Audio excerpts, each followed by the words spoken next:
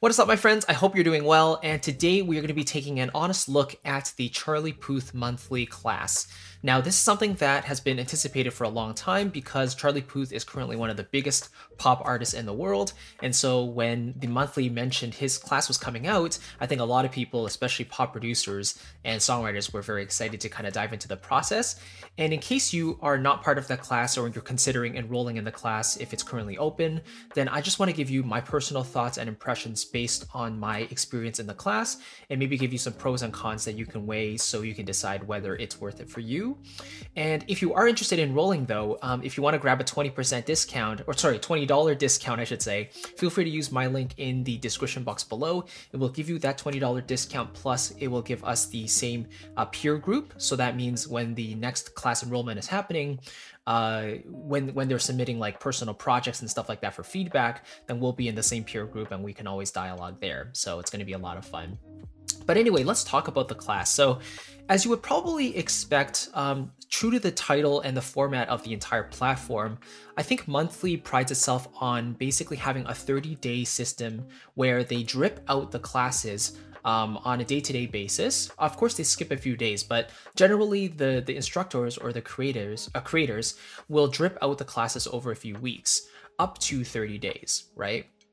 And so in the middle, um, in between these these dripped content videos, you will get these feedbacks uh, and assignments basically that you'll have to complete. And then you can share these with your own peer group to kind of look over and give discussion with each other, give feedback and support, which is always really nice because you can learn a lot from each other, you know? And another perk that Monthly mentions is that sometimes the instructor themselves will actually come in and give feedback and encouragement. Now, this is something that uh, I have seen a little bit of in the classes I've enrolled in, so the Charlie Puth class and the Ryan Tedder class, but it's relatively few and far between. So you're not going to get a whole bunch of um, interaction with the instructor themselves. Um, just being honest, you know, they're they're probably very very busy and they have a lot on their plate. So we, we we're basically lucky if they do drop in and give the occasional feedback and say hello and all of that. Um, but generally, you're not going to have direct access to the instructor. It's it's basically self-paced. Um, as long as you keep up with the the assignments and you watch over the videos, then you're probably going to be um, you know do, making good progress along the course.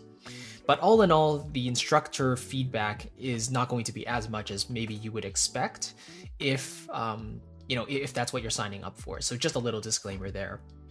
But let's let's dive more specifically into the Charlie Puth Masterclass itself. So as you could probably expect, um, Charlie Puth has a lot of equipment. He is uh, you know, again, one of the biggest artists in the world, and he has millions of dollars probably. So um, he could probably uh, collect as much stuff as he wanted for his entire life. And when you do get a look into his studio, you see there's actually a lot of equipment that he does have. But he does make a point to say that you don't need very much equipment at all. And that's a really good mindset because I think a lot of us get enamored with the, the best new tools and you know all the best software and all that stuff. And Charlie Puth repeatedly mentions that all that stuff is actually not needed. It's only because, you know, he has the money and, you know, it's it's fun to play around with new stuff that he has those tools, but you don't actually need all of those tools to get started. So that's really important to keep in mind. He mainly collects all that stuff because he enjoys plugins so much and he wants to see what the real thing really sounds like.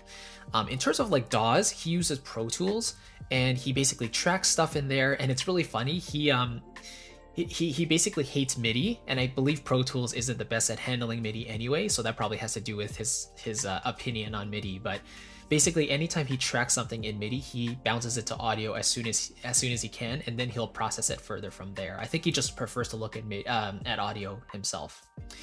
Um, in terms of the tools that he uses, he kind of mentions the very basics that we need. So there's like the keyboard, headphones, microphone, especially if you're recording vocals or any external instruments, uh, audio interface and virtual instruments, like and, also like plugins and software. So like Splice he uses for samples, he uses Komplete, he uses uh, classic reverbs and compressors as well. And in regards to like music theory, because we all know uh, Charlie Puth is actually a jazz pianist as well, so he probably knows a lot of music theory too. Funny enough, though, he actually says that when he's writing music, or playing music, he actually plays mainly by feeling and instincts. Uh, rather than dissecting everything he's playing, even though he has perfect pitch and he could literally just name any chord that he's playing. But generally he is just playing by instinct, and so even though he doesn't know all the chord names off the top of his head right away, he's able to play them because he has experience as a jazz pianist. So that's something good to know. Is that um, he's not the he's not the most uh, theoretically adept. So like let's say Jacob Collier, right, for example, but you don't need to be in order to write hit songs, right? So Charlie Puth makes a mention of that as well. So he says that you don't need all the music theory to basically write good music because he certainly doesn't have all the music theory. He just knows enough, um, well, more than enough basically to to write great songs. And then in the in the next section, he kind of talks about working in the DAW, right? So he kind of talks about his own workflow, how to create individual tracks, record chord progressions, quantize looping, and then he adds like different effects to give you a sense of what the plugins do. So it's a very step-by-step approach, which is really nice. Um, and I actually love the overall vibe of the class itself. So Charlie, uh, you know, you, if you look at his Instagram or TikTok presence, you probably notice how um like fashionable or how swag he is, right? And he's constantly showing off the new tools he has or like new song ideas and all that. But the monthly vibe is much more casual in a way and it's more drawn out, it's more long form. So it, it's more like a casual conversation. It's almost like spending a literal afternoon with Charlie Puth, you know? And he's a lot more open in this i feel. Like he's he talks a lot about how he's actually insecure with his voice. So when he's tracking his own vocals he will make sure his processing chain is set up so it captures the performance as well as possible to then inspire him to write further you know? So he'll put on auto tune he'll put on like a compressor or whatever it is to make sure the performance is up to his standard for at least a scratch vocal before he continues on from there. So the overall vibe is is really nice. He's also pretty humble in the class as well. So you get get a sense of his true personality there. He's more shy and reserved, you know? And he's just a generally optimistic person as well, which is nice to see. Um, and then kind of jumping into the first track, uh, he kind of sings into voice memos, he kind of chooses sounds, uh, starts with single ideas and melodies, and then builds from that. Uh, kind of similar to the Ryan Tedder class, which uh, I've made a review of as well. Um, basically, he kind of starts with a single idea, but um, develops by feeling. So it's not very theoretical. He basically goes, finds sounds that he likes, puts them into the DAW, and then continues to build from there. And in the first song, it's a full Charlie Puth ish song. So it's a lot of like, um, lots of vocal stacks, lots of vocal harmonies, lots of um, lyrics matching what the music is doing, so lots of prosody, and it's it's really nice to see it come together from start to finish and see how Charlie explains the steps that he's taking. And then in the second song, he basically writes a song that he would never write essentially. So he goes for more of a ballad. He goes for more of a uh, he calls it whiny vocals and lyrics. So very very earnest, let's say. And it actually sounds pretty good to me. Like I I, I kind of like the song. It's pretty catchy. Um, but he, you can see him constantly cringing along the way. But he stresses that it's a good idea because you're basically expanding out of your comfort zone. So in that regard, you're you're you know taking your abilities to the next level by experimenting with new sounds and trying new things that you wouldn't necessarily do with your comfortable song, if that makes sense. So it's nice to see both extremes, something that Charlie Puth could knock out within a couple hours, that's fully produced, something that is totally himself, and you get to see what instruments and plugins he uses versus stuff that he would, versus something he would never write, more of a ballad stuff without drums and all of that, and very earnest and almost whiny, he says. Um, but again, at the end, he kind of likes it because it, it shows a side of him that he knows that uh, that he could write if he really wanted to, you know. But generally, it's a very interesting class because, again, you get to see the inside process of the artist and Charlie Puth in particular.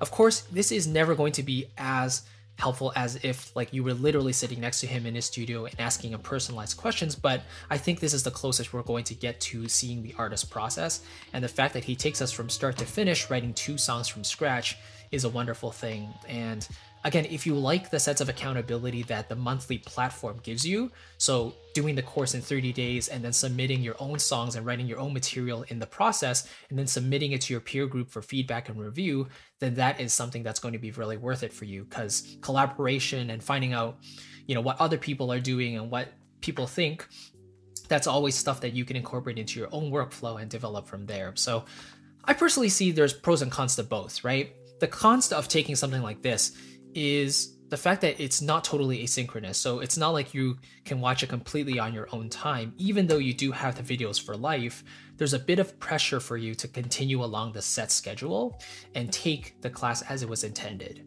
Um, so if you're not into that sort of pressure or that sort of schedule, then maybe that's not the format yet you want to go for. However, it is nice to have that sort of pressure to push you to actually write music and keep yourself accountable.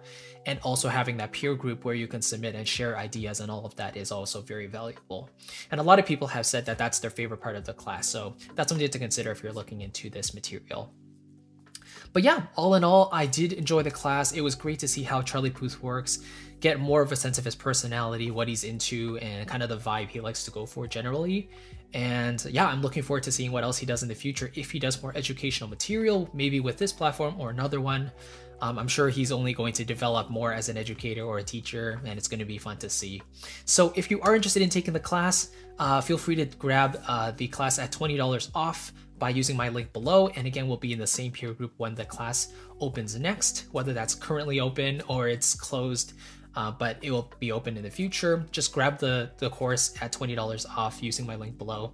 Really appreciate it, and uh, hopefully you enjoyed this review. Let me know if you have any questions about the class. I'll try to help however I can. But again, I'm really grateful that you stuck around, and hopefully this gives you an insight into the way it works. I appreciate it. I'll catch you in the next one, and take care. See you later. Bye-bye.